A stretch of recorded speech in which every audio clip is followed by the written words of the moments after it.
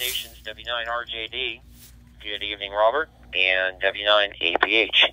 Any others besides RJD and APH?